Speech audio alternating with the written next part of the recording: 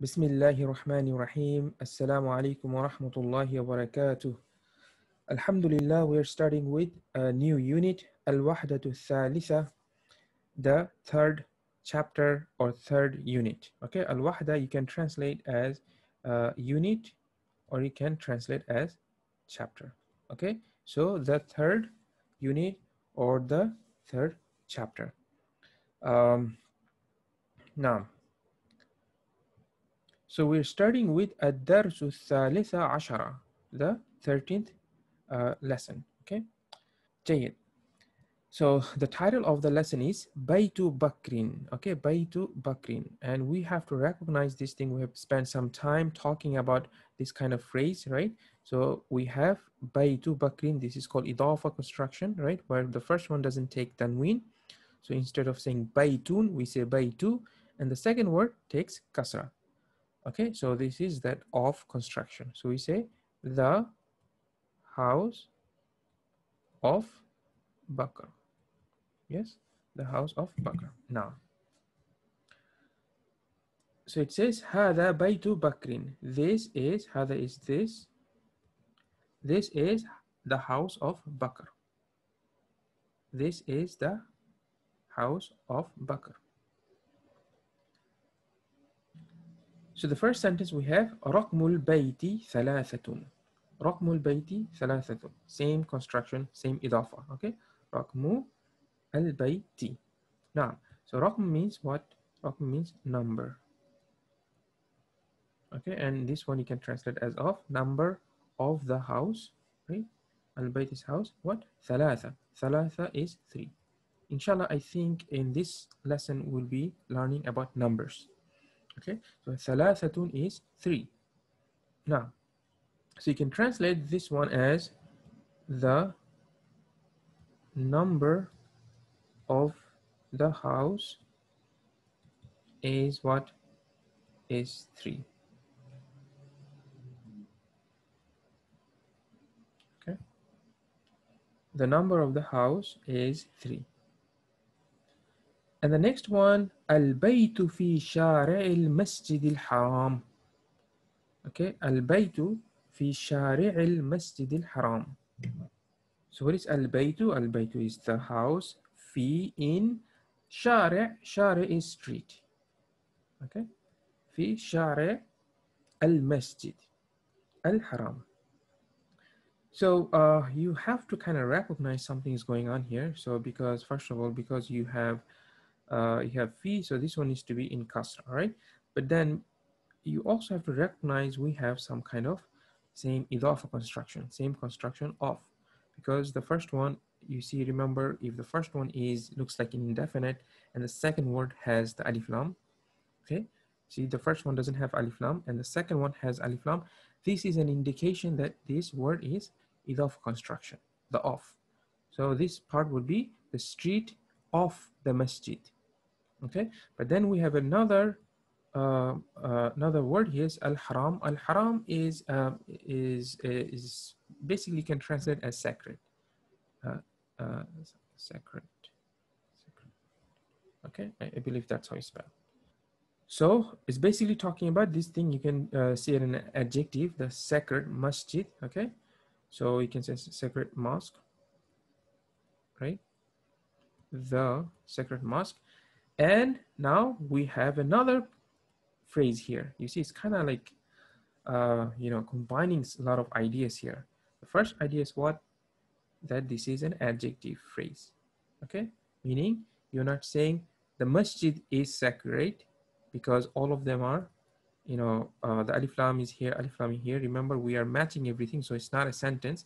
For sentence, usually you need the definite and then you need to have indefinite, okay? So when you have both of them de definite, most of the time, when both of the nouns are definite, majority of the time there's exception, but majority of time it will be an adjective phrase. Okay, so we have al-masjid, al-haram, and you can verify whether or not it's adjective. Uh, we haven't gone too much detail about adjective yet, but here it's, uh, it's an adjective, right?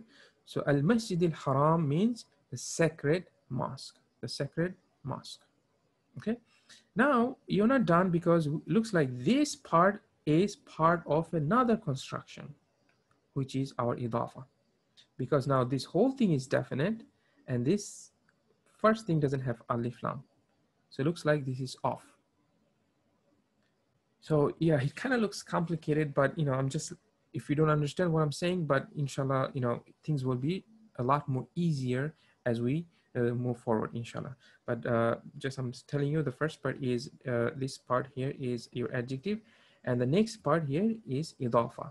So you're saying the street of, you can translate the street of the, uh, the sacred mosque. You see? Because if this one, if we didn't have al-haram, then we would say what? Street of the mosque. Okay, so because we have an adjective, we say the street of the sacred mosque. Okay, makes sense? No. So how do you translate the whole thing now? Again, we have fi, fi is harful jar. After harful jar, you need to put a kasra. Okay, after harful jar, you need to put kasra. Now the question is, do you put uh, one kasra or two kasras, right? Do you put shari'in, okay? Because the word is shari', shari'un, which is a street, and you put fi, so you should be shari'in, right? Right? But because this is part of idafa, remember the rule, you cannot put tanween, you have to put only one. Okay, so all of these rules, you have to kind of feel comfortable and even if you are not, you know, with all of these rules, you kind of have to uh, combine them uh, to get the whole meaning, okay? So now you'll translate the house is in the street of the sacred mosque. Make sense? Inshallah, don't worry too much. We'll talk a lot more about this adjective phrase, the idafa construction, uh, inshallah, in the future. Jayid. And the next word is, and the next sentence is al-baytu kabirun. And this is very fairly simple sentence. And see, we have the definite. The first word is definite, al-baytu, and the second word is indefinite, and that's the standard, where you have the subject, which is al-bayt, and kabir is predicate. Okay, the standard rule in Arabic language is that the subject should be definite, which is the case here, and the predicate should be indefinite. And that's how you construct a, a sentence. Al baytu kabirun. The house is big. Now, uh, so the next page we have amam al bayti. Amama is front of. We had this one. Amam al bayti. Again, we have kasra because of this uh, this amama. Hadiqatun wasi'atun. Okay. Hadiqatun wasi'atun. What is hadiqa? Hadiqa is garden. Now, is it uh, indefinite or definite? We have clearly, we have a tanwin, so this is an indefinite noun. It's not a definite noun. So what is wasi'a? Wasi'a is wide. Wide, like, you know, big, right? Now, this is also indefinite. Now, just by looking at these two words, you need to ask yourself, you have to figure out what's going on. What is the relationship between this word and that word? Okay? Especially when you have two nouns side by side, you need to be able to understand what is the relationship, what kind of construction uh, of these phrases, right? Is it an idafa, is it a sentence, or is it an adjective? Okay, you have to find uh, one of these three. So in the beginning, the easiest way to figure things out is by looking at their uh, definiteness. Okay, so if the if both of them are indefinite or both of them are definite, this is a clear indication that it might be an adjective. Okay, so looks like here is the case. We have indefinite and we also have indefinite. So chances are this will be an adjective. Another thing you have to know about adjective is what when the gender is matching. An adjective gender must match. So what, what do I mean by that? Is that the word hadiqa is a feminine word. How do I know hadiqa is feminine? What does it even mean that hadiqa, the garden is being feminine? Simply it means that it has a tamarbuta. So we consider as feminine word. So when you're describing a feminine word or feminine person, then you have to use a feminine adjective. I mean, what does it mean, a feminine adjective? Well, it doesn't mean much. It just means that you have to put a ta marbuta to the adjective. So it means basically you had the adjective wasi'un, okay? Wasi'un, which is wide. That was the original word, wasi', wasi'. It's wide, you know? But because you're describing hadiqa, okay, and which is a feminine, you have to add ta marbuta and make it into feminine adjective. And that's precisely what's here, what we have here. Wasi'atun. Okay, so now we looks like it's not only matching with the definiteness, both of them are indefinite, it's also matching what? Gender. So this is a feminine and this word is also feminine. Here's another thing that adjective has to match, which is what? Their ending the case, the ending, which is the grammar, has to match. Which means, what is the ending? The ending of a word is, you look at the last, you look at the last letter and you look at what is the haraka. Okay, what do we have? Do you have a fatha, kasra, or dhamma? Here we have dhamma, double dhamma, and here we also have double dhamma. So that is, it's also matching. So we can say the uh, grammar is also matching. Okay. For example, if it was a um, adjective and the hadiqa had fatha, well, your wasi'a has to be in fatha also, okay? So inshallah, uh, maybe we will go a little bit more details and explain all of these things, uh, okay, as we uh, move forward. Jayid. So now that we know that this is an adjective, so uh, hadiqatun wasi'atun, it means what? A, a what? A, a wide garden. Now we can translate a white garden, okay? Right? So you can say, uh, uh, you can say there is a white garden front of the house, or you can say front, front of the house, there is a white garden. That translation, I'll leave it up to you, but that's what the se sentence is telling you, right? Now, the next word we have, وَحَوْلَ الْحَدِيقَةِ سُورٌ مُرْتَفِعٌ okay وحول الحديقة سور مرتفع wa is of course and حول حول is around حول is another uh, you can think of a preposition is around around okay so whenever you think of preposition what are you thinking we'll keep on uh, repeating this thing after preposition you always get a kasra and indeed we have a kasra here Okay, so hawla al-hadiqati, it's the same thing as amama. You know, amama is front of, hawla is around, tahta is under, wara'a is behind. You know, all of these, uh, you know, positions that we have or any preposition that we have, we have to put kasra on the words that comes after it. Yes? Now, so hawla al-hadiqati, around the garden, what? Surun murtafi'un. What is sur? Sur is fence fence like that fence like wall. Wall not in a sense that you have uh, you know wall for the house right? Not not like that. So it's basically fence fence i hope the spelling's right. Fence murtafi murtafi is high. High. Okay so it's talking about so again what do you think about these two words? You have two nouns side by side. You need to analyze it. You need to understand what is uh, what is the relationship? Okay what kind of phrase is this one? Okay so it looks like the first one uh, okay so it looks like they're both indefinite so that's matching and both of them has same grammar case ending it's matching and both of them are masculine okay there's no ta marbuta so it looks like it's an adjective. So you say high say a high uh fence make sense so now you can translate and around the garden what? A high fence. So of course you got to put uh, when you're translating english you got to put a lot of uh, more additional word in order to make make it sense. Like around the garden you can say there is a high fence.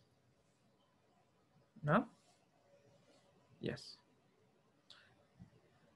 Okay, so next one is Baitu Bakrin. We had this one before, Baitu Bakrin. Qaribun, qarib is near, near minal masjid. Min is from, okay? The word is min, okay? The word is min, and uh, which is which means from, and masjid is masjid. And because this is an again, uh, you know, it's a preposition. That's why we have a kasra. Jayid, so why do we have mina? I think I mentioned it before because after min we have alif lam, then the sukun, you have to change the sukun, okay? You have to change the sukun into, uh, uh, depends, some word will take a kasra, some word will take a dhamma, some word will take fatha. So what is it saying? Uh, the house of Bakr is what? Qarib. Qarib is near, near the mosque. Now I need to point out something. Whenever you have the word Qarib, it will always, most of the time, like 99% of the time, it will come with the min. Qarib min. It's always Qarib, Qarib plus min. So you, you it, this uh, qarib plus min gives you a sense of close to. You know, near, yeah. So because, for example, if I was to say close, then I have to say to. So it's close to, close to the mosque, okay? And then its opposite is ba'id an, ba'id, ba'id an, far from. Okay, so when you have ba'id, you will have the preposition an when you have a qarib, you will have the preposition min. Okay, this is almost all the time you will find them coming uh, as a pair like that. Okay, and speaking of it, it's right here, right? So we have wa ba'idun an as-suq. Okay, so right because we have ba'id, that's what we have an. So it is far from, and uh, again the word was an because we have alif lam, so we have to do something. As you can see right now, different uh, preposition takes a different uh, uh haraka. The min takes fatha min al masjid and an takes kasra ani suq. Okay, something that inshallah you all uh, understand. So the issue is because we have two sukun and Arabic language doesn't allow that. So we have to put, uh, it's usually for making a good pronunciation, a fluid pronunciation. Okay. So uh, again, we have a, a kasra here because of the preposition. So we'll translate and far from the market. Yes, far from the market. Now, G. Okay, so we have al-kalimatul jadida. Al-kalimatul jadida is the new words. So what are the new words? Baitun, well, that's probably not a new word. We had this one before, okay? And we have tis'atun. Hmm. Tis'atun is nine. So looks like we're getting uh, numbers here. Tis'atun. Tis'atun is nine. Okay. Arba'atun. Arba'a is what? Four. Okay. Qaribun, which is what? Uh, near. Okay. And we said uh, qaribun, it, uh, after qaribun, you usually get min. Qaribun, min. Al-haram. Al-haram is uh, sacred. Sacred. And then amama, we had this one before, front of. Sab'a, sab'atun is what? Seven. Sab'atun is seven. Ithnani, ithnani is two. Okay. Hawla, hawla is around. Shari'un, shari' is uh, what? What is shari'? Shari' is street. No. Ashratun, Ashratun is 10. And Khamsatun is 5. Right? Then we have Ba'idun. Oh, sorry. Ba'idun is far. And what, what did we say? What comes after Ba'id? Ba'id, you get An. Far from. Okay? Ba'id An. And Surun surun is fence. Okay, al-masjid, we know what al-masjid is. Thamaniya, thama, thamaniyatun is eight. Thamaniyatun is eight. okay, and thalathatun, Thalathatun is three. And an, we just had an. An has, you know, the preposition is very difficult to translate by itself because preposition meaning changes depends on what noun we have or what verbs we have. So an can be from, it can be about, you know, it depends. So I don't know how to translate, uh, you know, you need a context, right? Because when you say ba'id an, then it means, you know, far from. But then when you're saying, I'm talking about something, you, you then you can say an, uh, an Muhammad. Atakallam an Muhammad. I'm talking about Muhammad. See, so that, uh, you know, just like in even, um, even in English, the preposition meaning changes based on the context. Now, murtafi'un is high. Murtafi'un is high, right? Sifr, sifrun is zero. Sifrun is zero. And sittatun is six. And wahidun is what? One. And wasi'atun. Again, I, I would rather learn as wasi'un. Wasi'un, which is wide. And we will learn how to make any any adjective into feminine. Okay, for example, the murtafi' it is what murtafi is high. So if you're describing something which is um, feminine, then you can easily take uh, murtafi, uh, and you at marbuta, you can easily make it murtafi'atun. Murtafi'atun. Okay. So the main word is murtafi'un. Likewise, main word is wasi'un, not wasi'atun. The ta marbuta only came because of the other reason, right? Understand? Now, and then we have uh, here, uh, it's showing you wa in the beginning of the word wajhun. We had this one before, which is face. Uh, then wisadatun, wisadatun, remember what, what is wisadatun? Is pillow, right? And wusul, wusul is arrival, right? And uh, we have uh, some words with uh, shin. So shajara is, shajara is tree. Mistara is what? Ruler. And we have rish. Rish is what? Feather. Okay. Now. Okay, so inshallah we will end here and inshallah in the next um, part we will go through the exercise. Okay. I will see you in the next one. Assalamu alaikum wa rahmatullahi wa barakatuh.